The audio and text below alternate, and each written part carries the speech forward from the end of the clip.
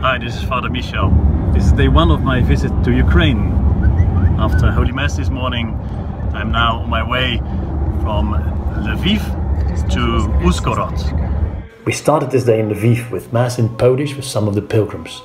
The drive from Lviv to Uzhgorod takes about four hours, and luckily they pass quickly because kindly enough, Bishop Neat came to fetch us and tell us about what we see.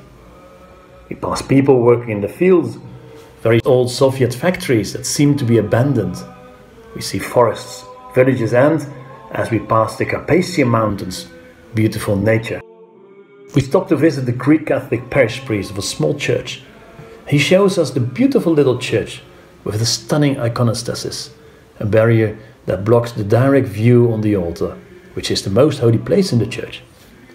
I discovered that during the Easter Eastertide, on the altar and below the book of the Gospel, the Greek Catholics lay the shroud of Jesus as a symbol of his death, he who brought us to life on the altar.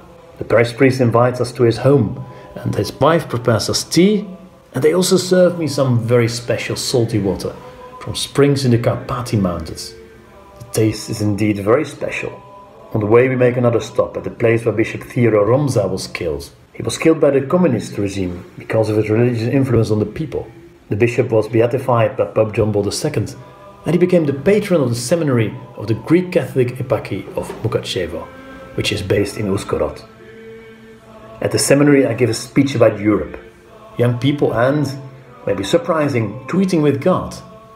And I myself am surprised about the number of questions that the people were asking. We even managed to take a selfie with some of them. As a beautiful conclusion of the day, we visit the most ancient church of the region, with beautiful medieval frescoes in Italian style, whilst the seminarians sang a hymn to celebrate Christ's resurrection from the dead. You can hear it in the background of this video. Christos Voskres, Christ is risen.